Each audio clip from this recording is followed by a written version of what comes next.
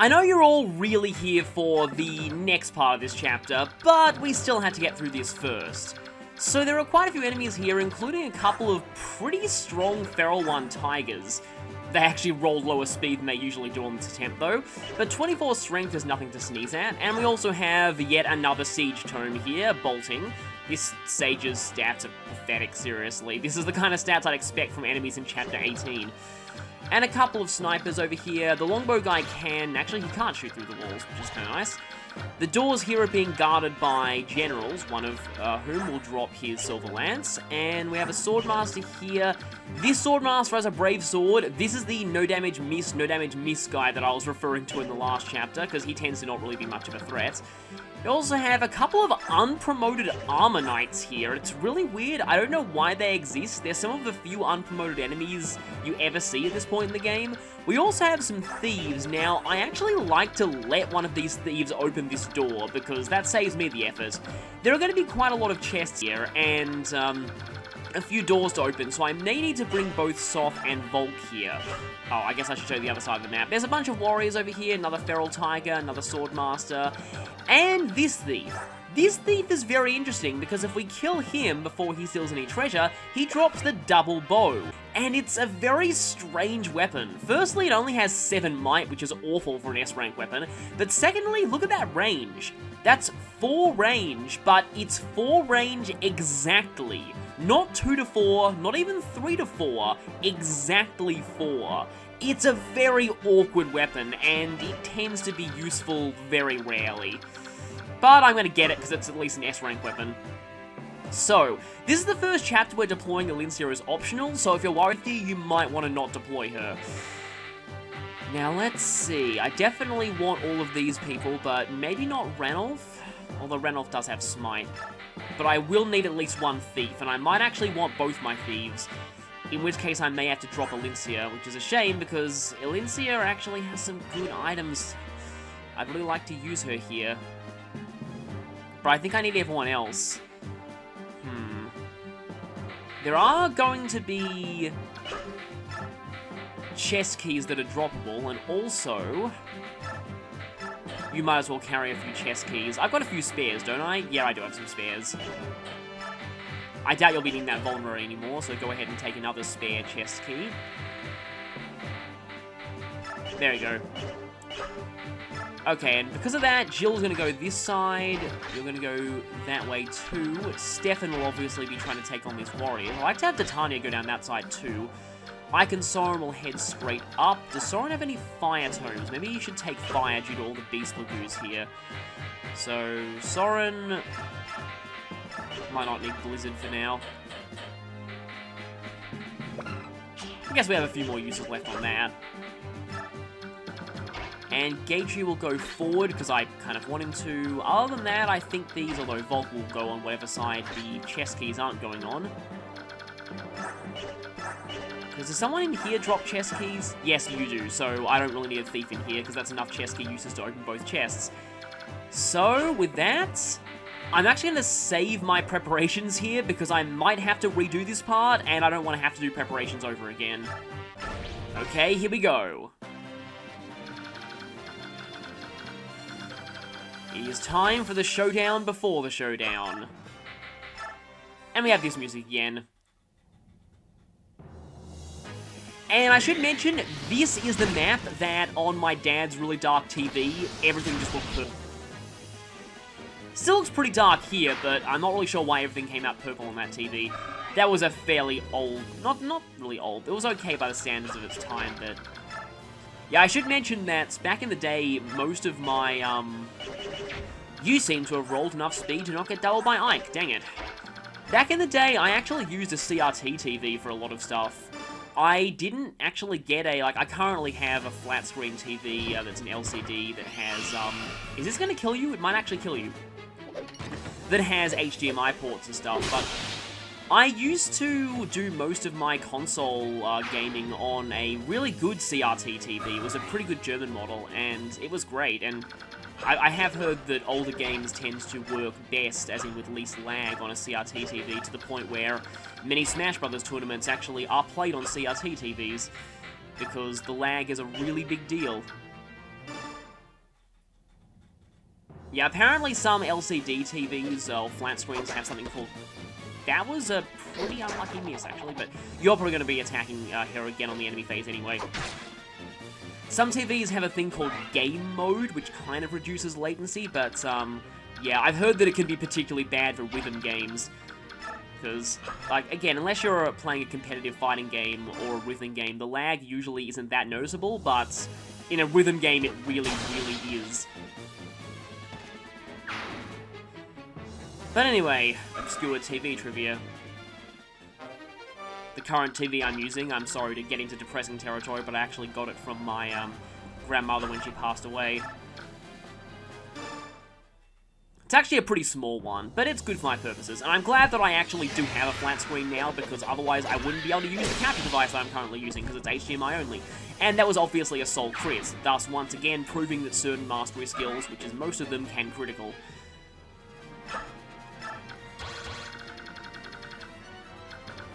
Okay, I think for the moment we're alright. And I might as well... The Flamelance is not KOing you. Actually, wait. Firstly... I brought the Hammer and Staff for a reason.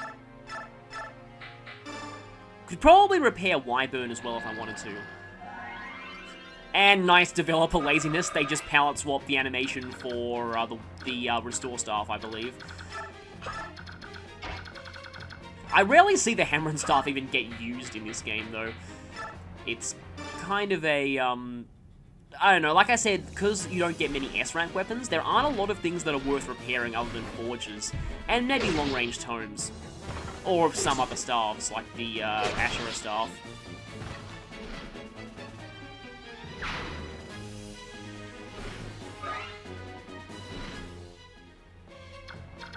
You're probably going to go for Jill now because of the uh, lack of counter-attacking.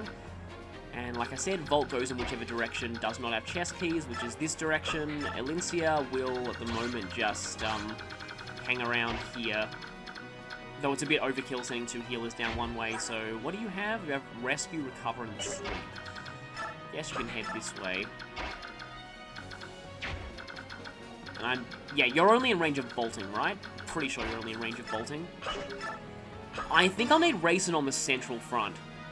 Because once we open that door in the very center of the map, whoever goes through there is going to get mauled by tons and tons of enemies, so I might need Reyson to help break through them. I mean this door, by the way.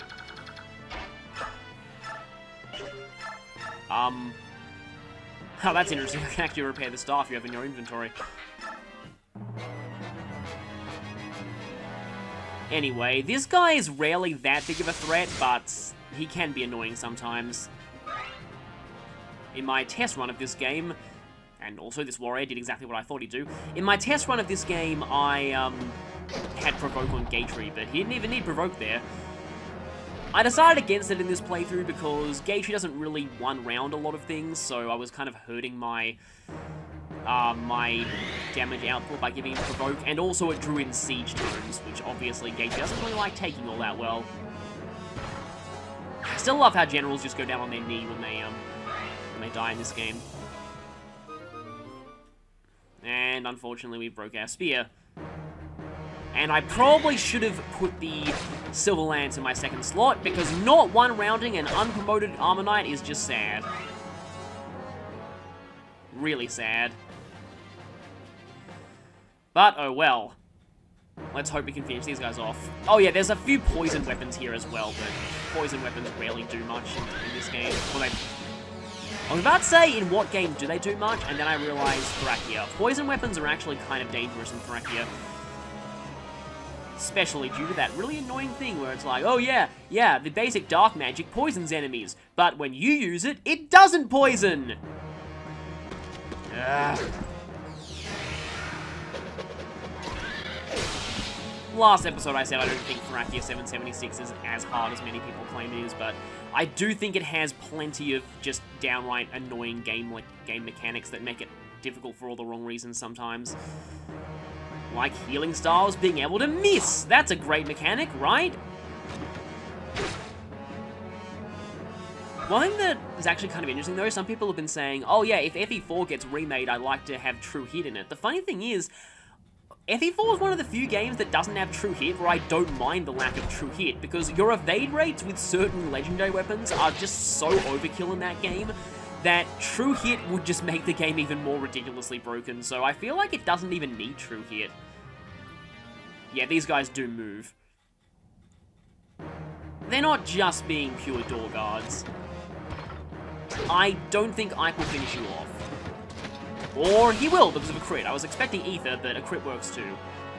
Yep, Ike needs to get some practice fighting generals because he'll be fighting a very important general soon. And that. Guess I can give that to Gatrie if I want. And this means Ike's going to get a door key if he aethers or crits here. And he got neither. Oh well. At least he doubles. Because I would be very concerned if he wasn't doubling generals. At this point in the game, Ike usually has cap speed for me naturally. I don't know what happened this playthrough, but I guess it's karmic vengeance for... Not so much vengeance, but karmic payback for my last playthrough where Ike somehow managed to cap resistance without the aid of stat boosters. I don't know how he managed to do that, but he did. You can't even get to the door, so I'm not worried about you. Don't even need the Silver Sword there, but, um, let's just do that anyway, because Stefan only has Silver Swords, or Blades. I find that enemies with killer weapons have this odd tendency to get critical in most of my runs. Death by irony. Speaking of irony, why are you not gaining strength? I have the fighter band on you. Thief band. Oh, right, I have the thief band on you. I get the fighter band to mist. That's why you're not gaining strength. Okay, so that's actually somewhat understandable.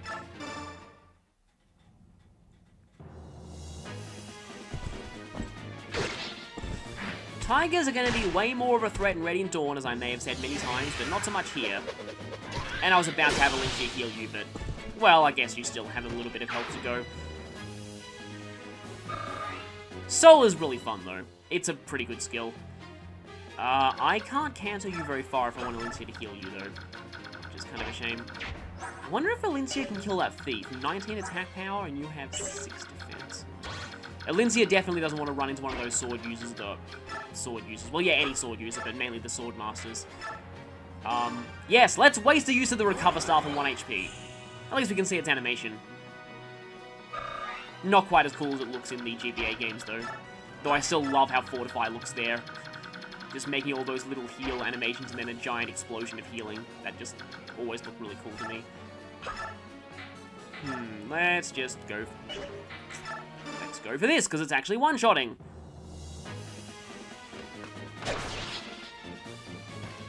Oh, yeah, that was it. I just remembered that the, um, the late game forge weapon that I made for Nephenee uh, in that one other playthrough where I was making references was, uh, was Bionic Farm!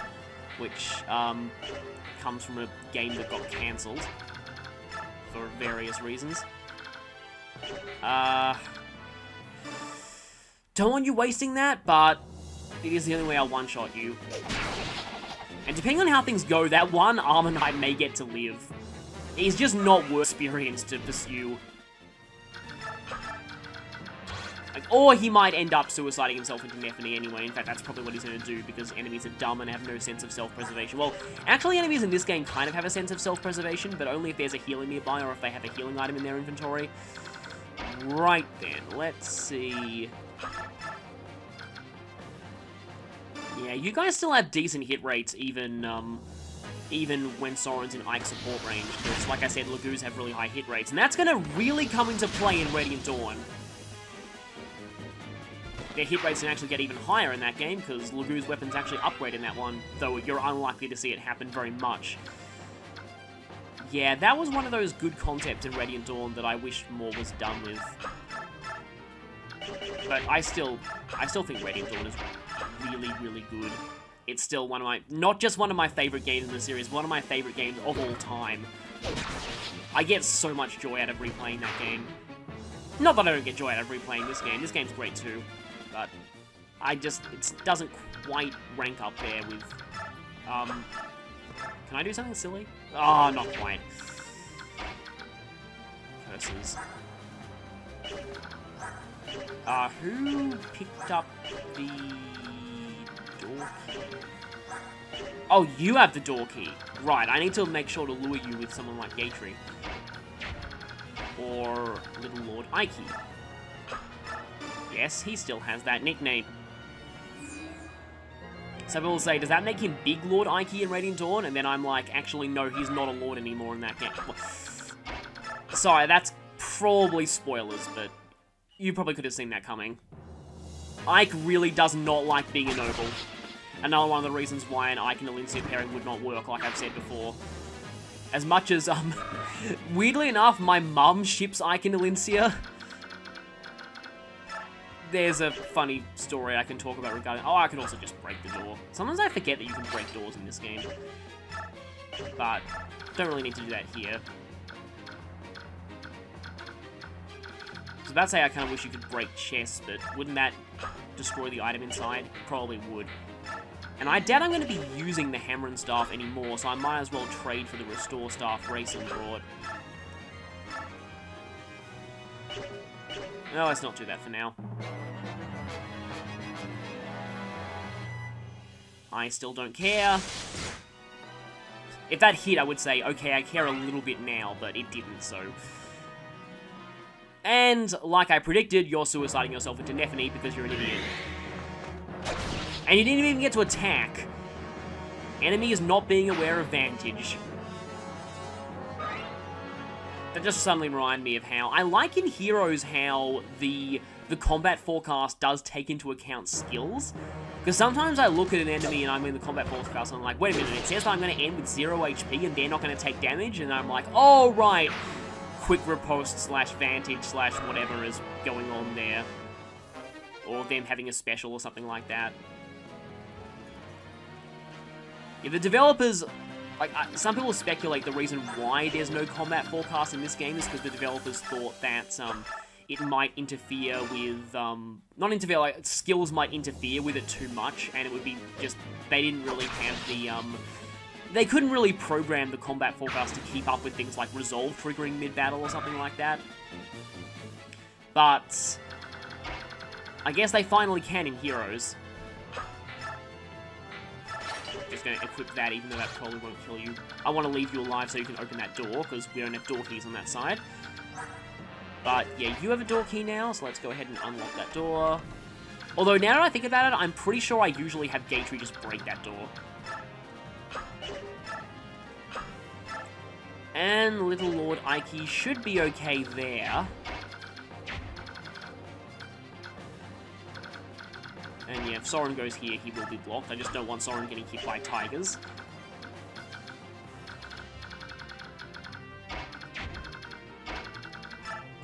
Still not exactly the biggest fan of this song.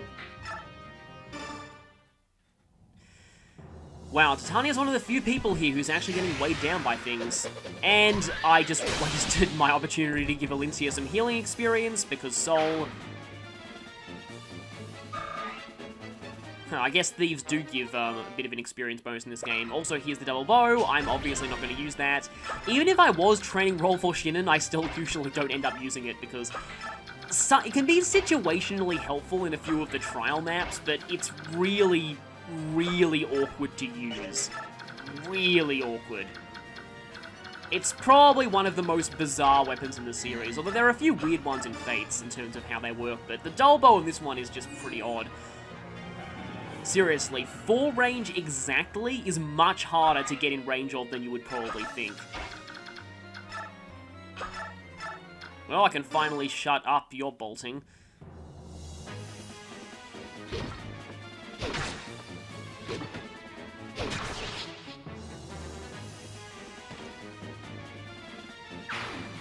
Least you're not as annoying as GBA bolting guys who will, who take advantage of the fact that Thieves and Roy can't promote for ages. Well, Thieves can't promote at all. And just go, oh hey, bolting magnet time. Thought you would do that. You may not die, but that depends on Adept. Also, Brave Sword. Double miss. You're not getting doubled though, unfortunately. I don't even have- why the heck are you going for Gatrie not Ike? Do you know that I call W or something? Well, you did three damage to him at least. Yeah, the AI usually prioritizes the most damage, but at the top of their priority list is almost always... Uh, well, firstly in the priority list is if I can kill something, then I'll go for it, but the next thing is always avoid counterattacks, usually. Is why the unarmed Titan uh, Titania strategy works wonders earlier in this game. Oh, right, longbow. That's fine. I don't really care. Again, I don't really care. Soren is not quite said levels of ridiculously evasive Wind Mage, but he's pretty good at evading things. He gets a bit worse at it in Radiant Dawn, though, thanks to how badly mages get screwed over in that game. Radiant Dawn is not a kind game to mages. Soren is the best one in that game by default, but he's still not amazing. Anyway, though, that's for later. Oh yeah, and the moment that any one of these doors is opened, this whole room is revealed, which means that these bishops are going to start being able to sleep and silence us. So, that's fun? Yeah. Who have the chest keys? You have the chest keys. Okay, so whoever takes those should be someone I don't plan on using for a lot of combat. I will say it again, Eruindo. Just because that's Robin's recovery move in Smash, and because I... I've said this before, but I watch a lot of Shadow of Chaos Smash videos, and he plays with Japanese voices on.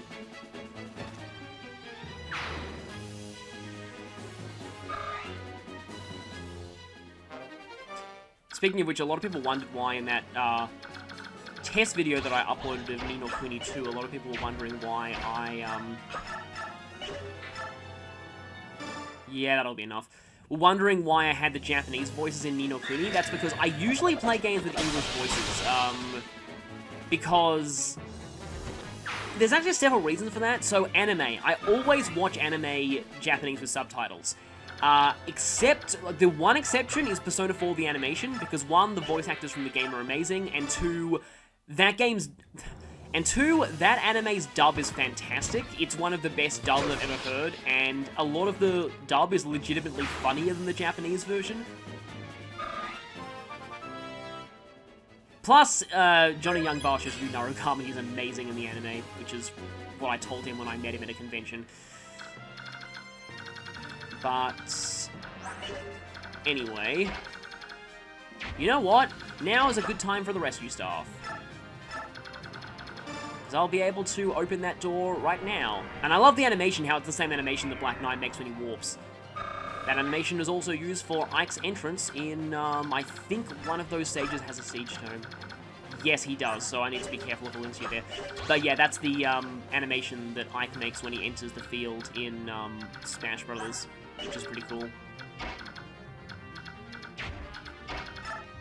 Now, I do have to be a bit careful because, yeah, there are some long-range people there, so Titania will need to move in such a way that she, um... Volke could try and break down the door with his knife, which is a funny image, but I doubt that'll really do much in the way of anything effective.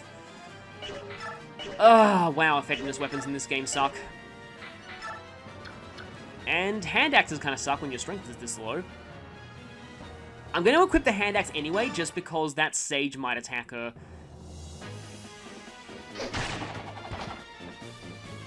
But anyway, as I was saying about, about dubs and stuff, so yeah, the reason why I always watch anime subtitled in Japanese is because dubs suffer lip lock syndrome. They have to make sure to match the, the mouth flaps, and that often results in lines not being translated properly because the actual correct translation would not match the lip flaps, and it also results in some very awkward lines sometimes. Like, um... Yeah. I always, like, I, I recently got confirmation that this was true, but I always suspected that the reason why Ash is called Ash Ketchum, despite not having a surname in the Japanese version, is because his Japanese name is three syllables, uh, Satoshi, and uh, his English first name is only one, so they had to fit in extra syllables. It's also, and this is also something that I suspected for a very long time, why um, characters will often say, Pokemon, insert attack name here, now. Like, they'll often say now at the end of an attack name, and that's also because of mouth movements. Something kind of cool about the Pokemon anime, I'm going a bit of a tangent here, but um, Pikachu actually um, something that I didn't notice when I first watched it growing up is that is that the way that Pikachu, like Pikachu, actually does learn the other characters' names. So, for example, like Misty's Japanese name is Kasumi, so I think Pikachu calls her Pikachu Pikachu P, which sounds like Kasumi-chan. And then Brock is Takeshi, and so that's Pikachu with a long exaggerated sound at the end. Here I am giving trivia about a not only my most hated Pokemon of all time, but one of my most hated anime characters of all time. I really don't like Pikachu in the anime. But I still think it's interesting how they how Pikachu kind of has has its own language. I like I think Pikachu even has an oh no it's Team Rocket um like a way of saying that. So it's just it's kind of like I said kind of interesting that they do that. Also, this is going to be fun. I'm going to put Jill in that gap with the Laguz axe, and all of those Laguz are going to get massively destroyed. Which is kind of ironic, considering post-character development, Jill.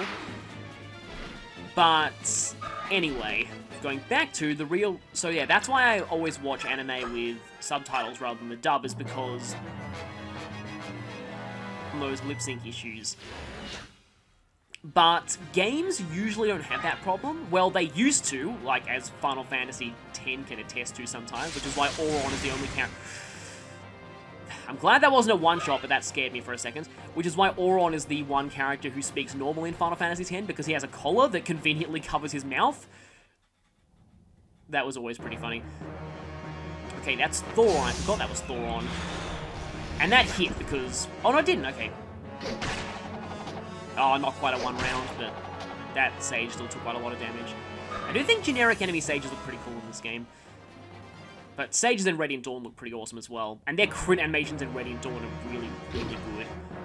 As you'll probably be seeing eventually.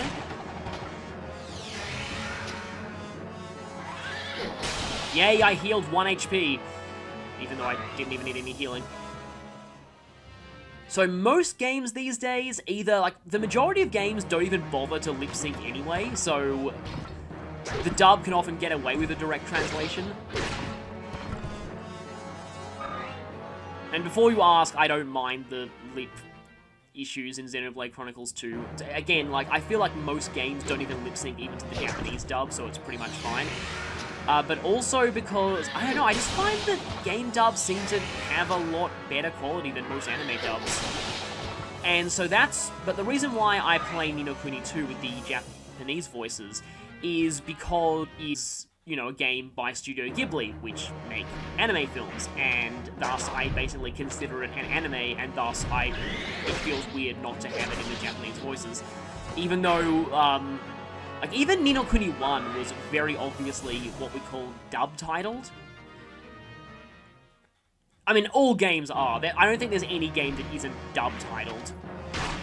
dub-titled. Dub-titling is when um, uh, something can be played in the original source language with subtitles, but the subtitles are just a transcript of the English dub which happens with some anime, but it's often very noticeable for games because, for example, I believe in the beginning of the first Ni Kuni, there's a character who gets referred to as one name, and the Japanese voice acting is clearly saying something else, which is also the case in um, Ni no Kuni 2, but um, Evan and Roland have the same name in Japanese, but um, Leander is... I never know what his name is supposed to be. It's it's like Seshi Ryusu? Seshirius? That sounds like a weird... I don't even know what that name's supposed to be, like I said. And then um, Bracken Meadows is... Um, I, I actually like her Japanese name better. It's Sheria Bracken. I think Bracken makes more sense as a surname than as a first name, so I actually like her Japanese name better.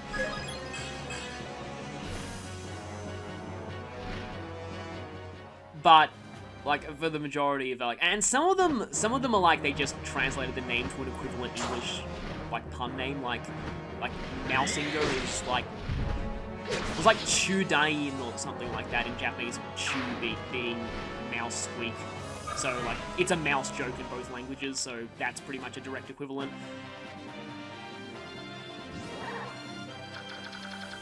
One case where the dub titling got kind of obvious though is that um not to spoil anything, but the the final strike against the final boss, in the Japanese version, that's just a very, very generic Kono Ichigeki or or I will decide it with this one attack, which is a really stock anime phrase. In English, it's a much more personal speech about, like, for the world, for everyone, blah, blah, blah. Like, so I like that one a lot better than the Japanese line. But, anyway, that was a big tangent. So now I'm going to... Maybe these guys don't start using sleep until we open this door. Let's see. That made me think of, stop! Don't open that door! That was before Albert Wesker was voiced by the amazing DC Douglas speaking of tangents, I, I had this funny story because um, once I was watching TV and an old repeat episode of NCIS came on, and DC Douglas plays a random side character in one of those episodes. Because like I, I was listening to it and I was like, huh, I recognize your voice. Is that seriously DC Douglas in a live action show? And then I googled it and sure enough, it was DC Douglas. So it's always kind of funny when you see voice actors because some voice actors do do live action shows, just some of them don't really do it all that much anymore. But that was just kind of funny, because his voice was instantly recognizable, just like, oh wow, that's DC Douglas, isn't it?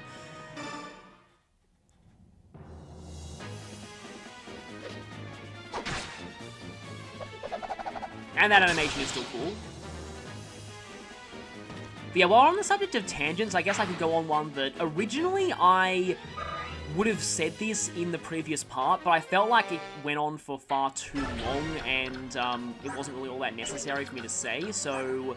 Okay, you're both level 18, so there's no real reason to prioritize one of you over the other here. I like how the Flame Lance is very often in this chapter doing exactly enough damage to kill something.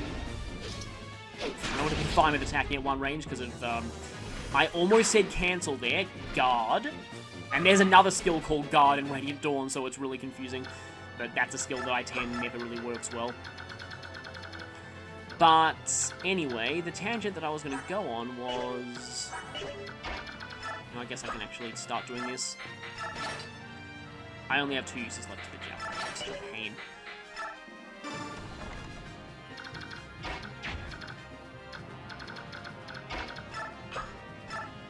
But it's about myth the mythological references of Ragnell and Alondite, so is, I'm pretty sure, named after Lancelot's sword, and the main reason I know that is because of Sonic and the Black Knight. Or sometimes it's called Arondite, it, it's kind of the net. I, I think Alondite sounds cooler, but I feel like Arondite is the real way it's supposed to be. I suppose I could take that. Oh yeah, and I can't trade it for the Silver Lance because of um, it being an, an item, not a weapon.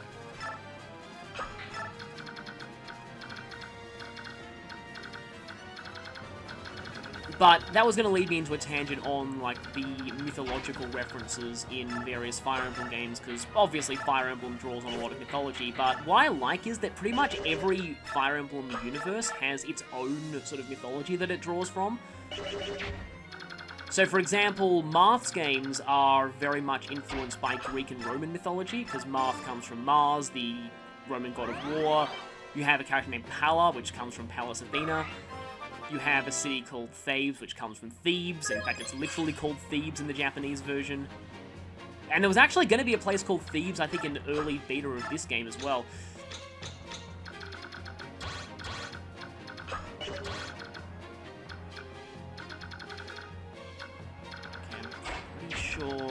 Yeah, I don't want to rush through there just yet. Titania should be fine there.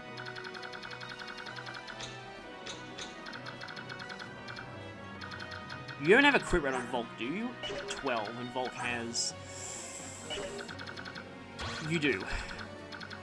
Well, that's a problem.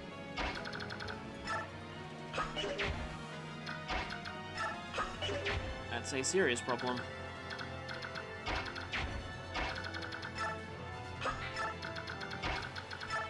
Here's another use of Shove, pushing someone out of enemy range. That requires Stefan to get back quite far. And that's why I traded the Restore Staff back to Mist. Okay, good, that missed. No pun intended there. Whenever I accidentally say a pun, it's not intended, because I don't like puns. But anyway, what I was saying about mythological references. So yeah, Marth's games are very Greek and Roman influenced.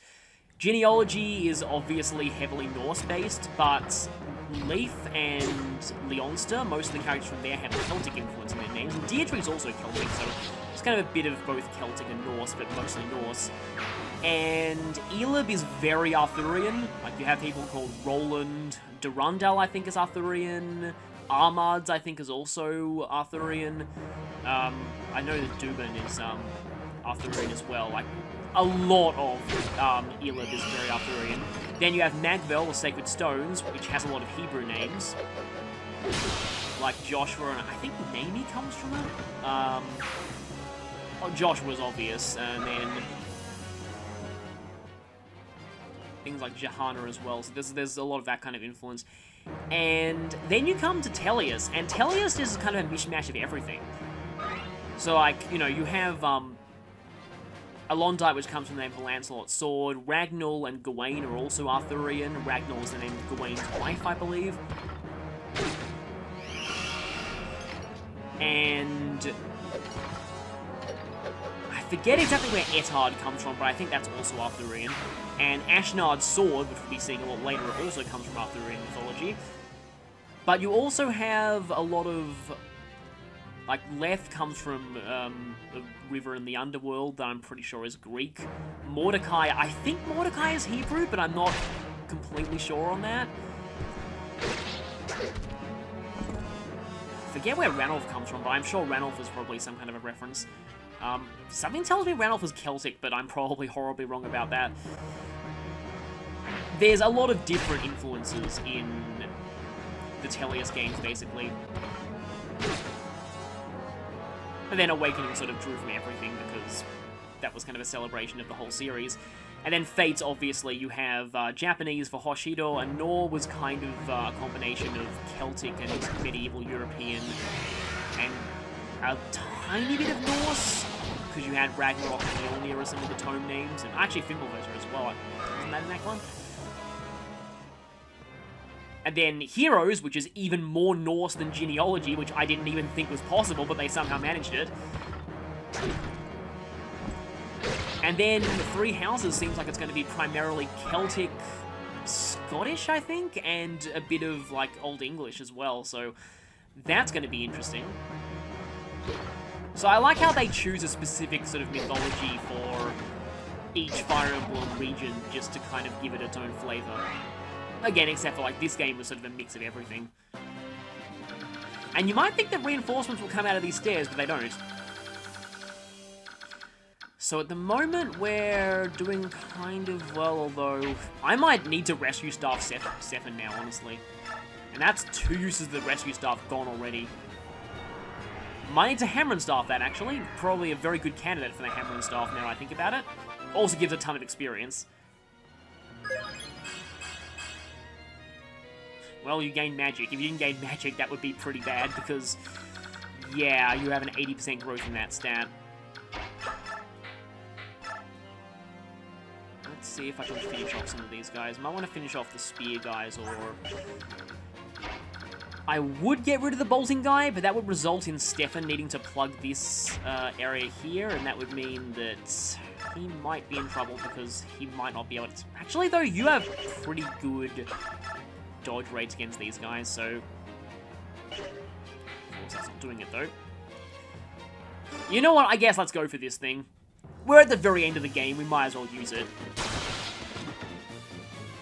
I think it's Vague Katti. It's pronounced. I used to call it the Vague Katai, but that's definitely not it, because I know that um, Lyn's Mani uh, Kati is, is Kati, not Katai. Which I'm pretty sure means like moon katana or something.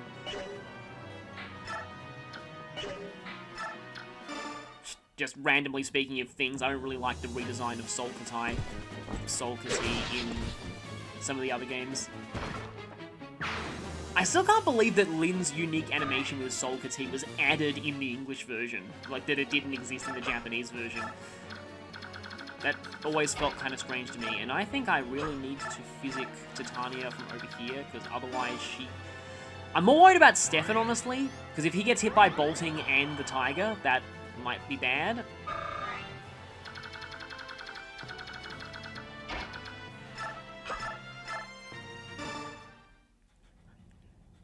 And yeah, I still like how powerful mages can be in this game, despite their low might on their weapons. Yeah, that's gonna be something that's not that great in Radiant Dawn. Speaking of Radiant Dawn, the double bow is so much better in that game. Double bow is ridiculous in that game, but I, I won't spoil exactly what it is for people who don't know what it does in that one. But, um, I appreciate magic and speed. But yeah, I'm not gonna spoil it, but it's, it's, it's pretty interesting what it does in that one, and uh, it's one of the reasons why on foot. I mean, I'm pretty sure mounted archers can use a double bow in that game, but Radiant Dawn is one of the few games in the series where on foot archers are better than mounted versions for various reasons, which I will get into, and you will certainly see once we get to that game. Uh, can I get through? Yes, I can get through, except he was going to open the chest. No, that's annoying. I guess he has to conserve his energy for the Black Knight fight. But Ike does get a full heal before that battle. It effectively counts as a separate chapter. Also, look, yay, a physics staff. It's not like we couldn't just, I don't know, steal two of them from those bishops. So, that was a helpful thing to get, not. I won't say no to an extra physics staff, but with how easy it is to steal them in this game, I'll need to get used to that while it still lasts, because, again, might not be the same in Radiant Dawn, for various reasons. Also, lol, Heavy Spear only doing one damage.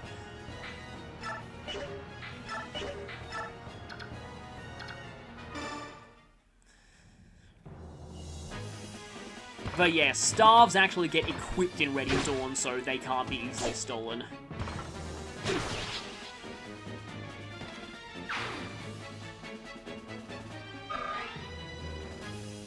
There is actually a certain trick you can use in the final chapter of this game that makes a certain enemy... Let me just check something. How are you in... I forgot that was a Brave Bow. Okay, change your strategy. Also, that could be really bad too, considering Soren's luck with getting critted this playthrough. But a Brave Bow with a 60 hit rate is not something that I want to try and deal with. I should probably just play this safe and keep Soren back. Because I can't, you know, keep you over this wall.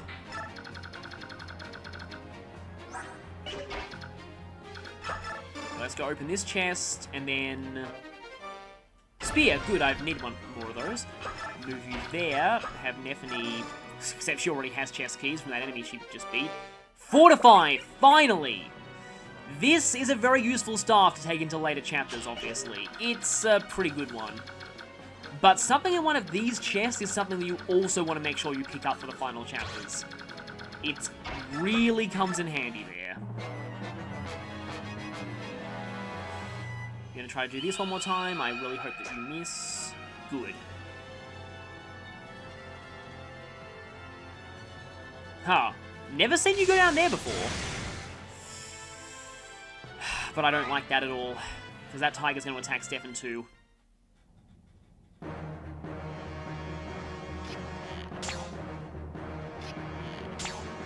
We all saw that coming. And now I can finish off the other enemy and then um, have Soren run in and melee the um, Brave Bow guy to death. I don't think we've ever seen Nephenee's non-kill critical animation, so that's the closest thing we'll get. No! You went for Titania. Okay then. I won't question that, but I'm not sure what you were thinking.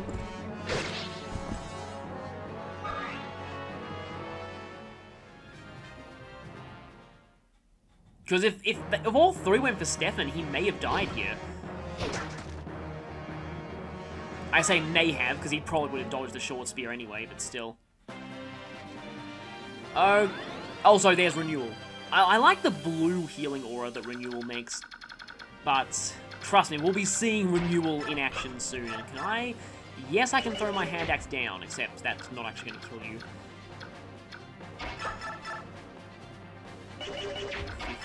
Wait a minute. 6. Again, why didn't you go for Stefan? That doesn't make any sense. wonder if I can hammer... No.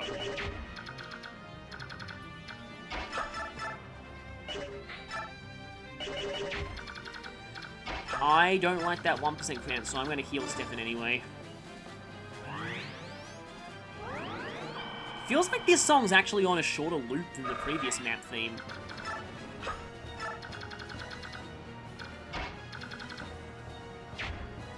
Now I'm wishing Stefan had a Sonic Sword. But with his Tiger down, hopefully... Oh, there's Astra. Now, I used exactly one use of the Varg against that other enemy, and I got Astra there. So let's see how many uses I consumed. Yeah, that looks like it took three uses. Oh yeah, this also gives plus three defense, so that might have been why you decided to not attack Stefan. I know there are some games where enemies don't notice modifiers to your stats, but this is probably not one of them. Now I'm wishing I had Reyson over here. Especially due to Volke, but oh well. Okay, now you can get to Volke. Hmm. In what manner of dying are you... Not really, okay. And nothing's going to be able to get to it this now. Let's put some truth to the phrase Elincia fights and Crimea wins the day.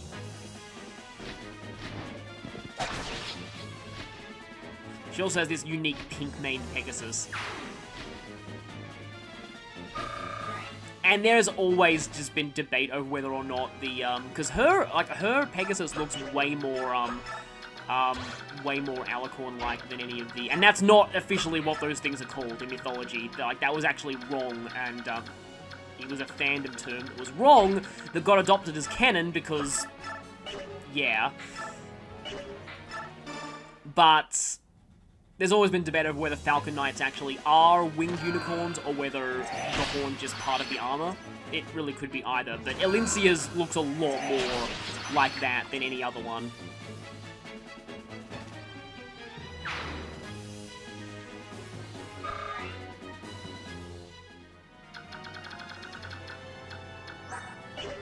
I explained in um, Persona 3 that Alicorn is actually the substance that unicorn horns are said to be made out of. Which in Persona 3 is an item that you get as a hard item from the unicorn, the persona, and it nullifies poison, which is another mythological reference because that's what unicorn horns were supposed to be able to do in mythology. So that was a pretty cool reference. Though, you know, Persona has a lot of, like, it gets its mythological references pretty much spot on all the time.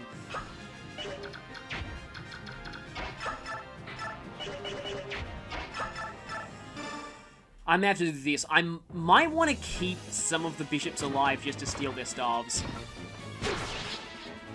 Which is starting to remind me of Thrakia. You could steal a lot of very good staves in that game. Especially rewarp staves. Stealing those was always fun. Oh yeah, I need to remind myself, I'm gonna have to fight the boss with Soren. Not have to, but I kind of want to because well, I'll cover the boss in a bit. Not quite yet, but I will cover the boss in a moment. Because we are approaching them. And this chapter was a bit quicker than I thought it would be, but that's to compensate for the fact that it is a two-part chapter, and you might have to be doing it over and over again. I will have to do this chapter at least twice anyway, because... Because... I have to show the fail Black Knight battle, as well as the... You don't have to... Yeah, you don't have like a Silver Lance or something like that as well as a successful Black Knight battle. Because they do have very different cutscenes, and I want to show everything here. So next part might even be longer than this, because I'll have to fit in uh, both versions of the Black Knight fight, plus the Adept Wrath method that I took footage of from an earlier playthrough. Okay, so there's three chests down there, which I need to still get, and here is the boss. Speedrunners hate this guy because he has Miracle. So he has a 19% chance of reducing a lethal blow to, well, a not lethal blow. He also has a Brave Lance and surprisingly decent stats. Also a Knight Ward, which you can't steal, unfortunately, because it's equipped, and there's no way he's unequipping that, so... Sadly, you can't get a second, but this late into the game, the 30% extra speed growth is not really going to be helping much. And he has the final occult scroll in the game. So I'm going to just park Gatrie in front of him, mainly because I would like him to... And this is arrive, not see, so it doesn't matter if Ike gets put to sleep. But I would like him to fight Gatrie here, but I want Soren to be the one to finish him off. He does have a special dialogue with Ike, though, as you would expect.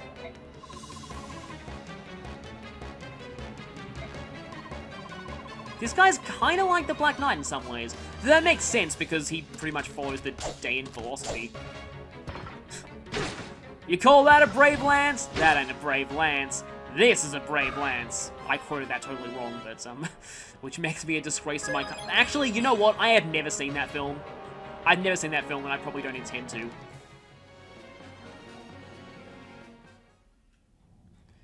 And I probably said this before, but fun fact, we do not say shrimp on the barbie, we call them prawns.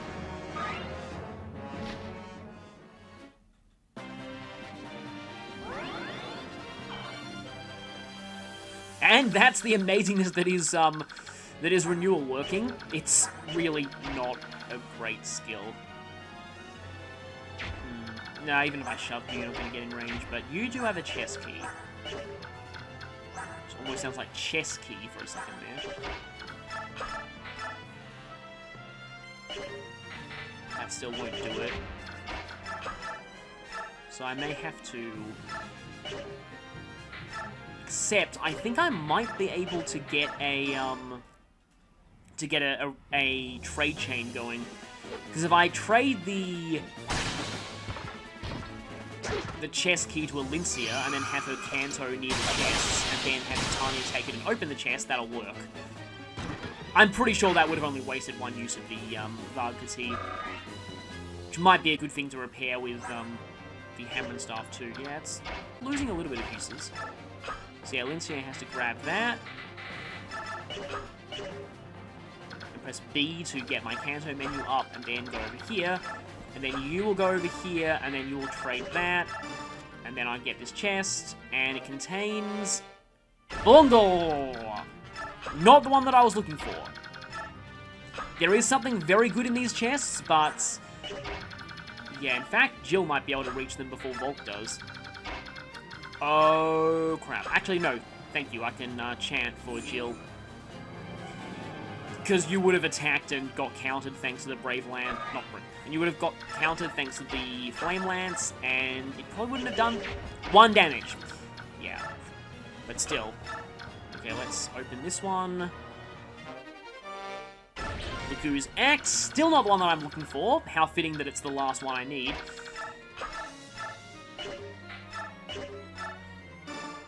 Yeah, let's do this. So, Miracle won't work because I gave Soren Nihil before the chapter one of the few cases where the Nihil skill is useful.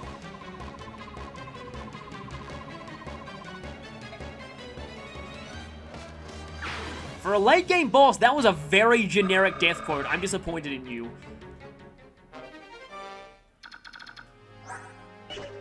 You should enter most generic death quote competition.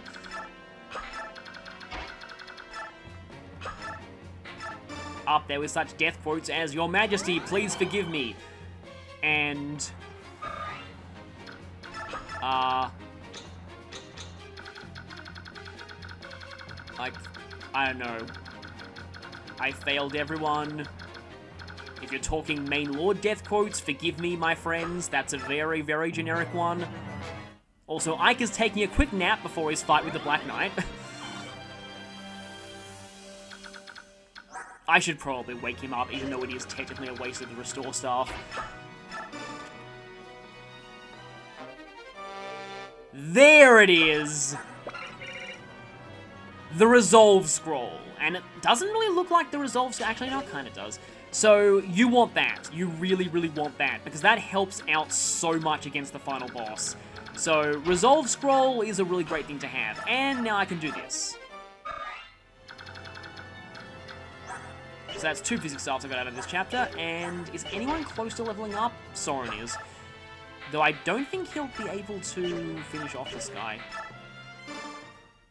Well, he will with Heart of Fire. I want to forge Soren a new tome soon. Also, I just remembered I forgot to forge weapon this chapter, which is annoying. But I'll do that next chapter.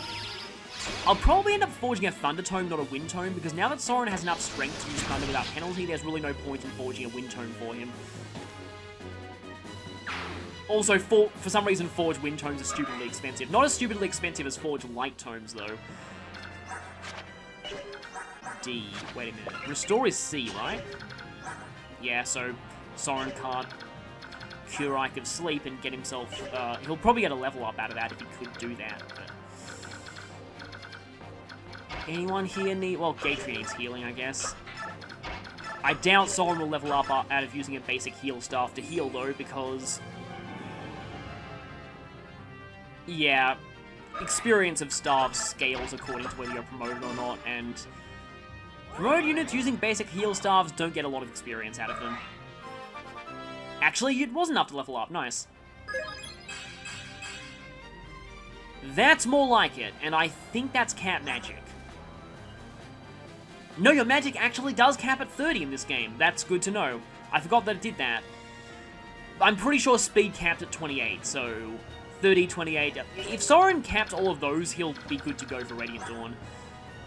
Some people are saying that it's impressive that Ike's capped this many stats. Ike, in most of my runs, almost always caps strength, skill, speed, and defense. If not defense, then I'll usually use a Draco Shield on him because I like having defense caps on him. And speaking of which, I think it's about time if, um, well, I mean, I suppose Elincia can heal Jill, who I'm still annoyed that she doesn't have a support with, because that would have been amazing. That really would have been amazing. I would have loved to see that. But uh, Ike is still asleep, but he'll be waking up soon when I'm to actually end this with Mist.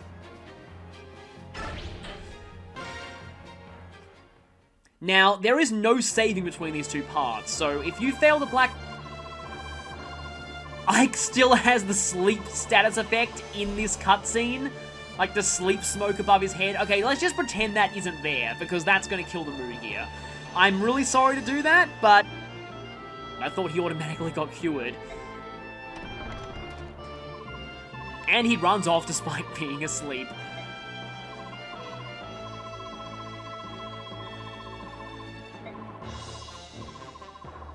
So, I'm going to be cutting off this part very soon. Next time, it'll be time for the fight. For the moment of fate. Soren's trying to turn idiocy into a catchphrase now.